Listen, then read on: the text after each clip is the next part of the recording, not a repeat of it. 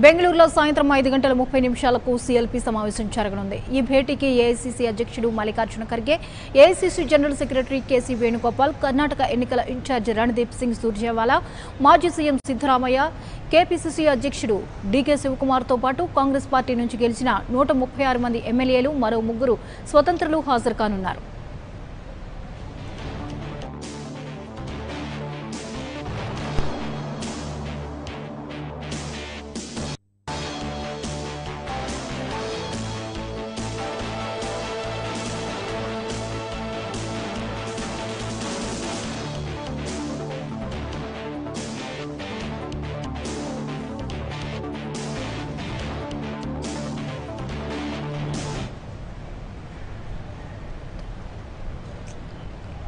వీరంతా సీఎల్పీ లీడర్ను ఎన్నుకోనున్నారు. ఆ తర్వాత కర్ణాటక సీఎం అభ్యర్థిని ఖరారు చేసే అవకాశం ఉన్నట్లు తెలుస్తోంది.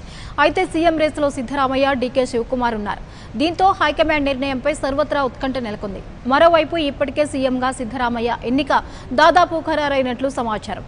ఇక కేపీసీసీ చీఫ్ డీకే శివకుమార్కు డిప్యూటీ సీఎంతో పాటు కీలకమైన పోర్ట్ఫోలియో అప్పగించే అవకాశం ఉన్నట్లు తెలుస్తోంది.